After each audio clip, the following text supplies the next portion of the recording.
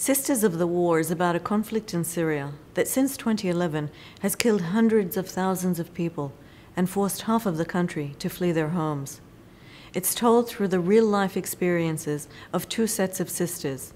The girls are similar in age, but they're divided by geography, religion, and politics. They come to find themselves on opposite sides of the war. Sisters of the War is about the extraordinary events that these girls survive it is set in Syria, but it transcends borders.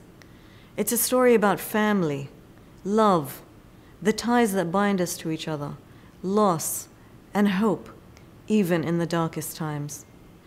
It's about the importance of home and belonging and what forces some people to flee and become refugees. My hope is that young readers will reach the last page of this book and think, if these girls in Syria could overcome all of that, then I can overcome my problems too.